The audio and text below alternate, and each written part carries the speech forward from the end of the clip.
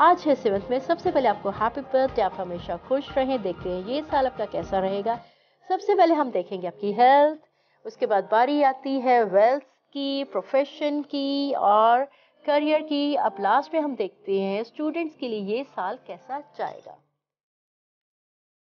अगर हम हेल्थ से रिलेटेड चीज़ें देखें तो इस साल हेल्थ आपकी बेटर होगी। आपको अचानक कोई हेल्प मिलेगी, अगर आपकी मेडिसिन आप पे वर्क नहीं कर रही वो भी वर्क करना शुरू हो जाएँगी।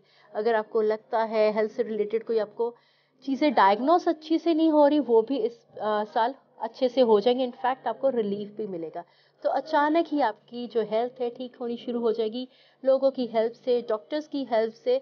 तो हेल्थ वाइज अगर हम ओवरऑल देखें it's a good year improvements आपकी होंगी। नेक्स्ट हम देखते हैं वेल्थ करियर कैसा रहेगा?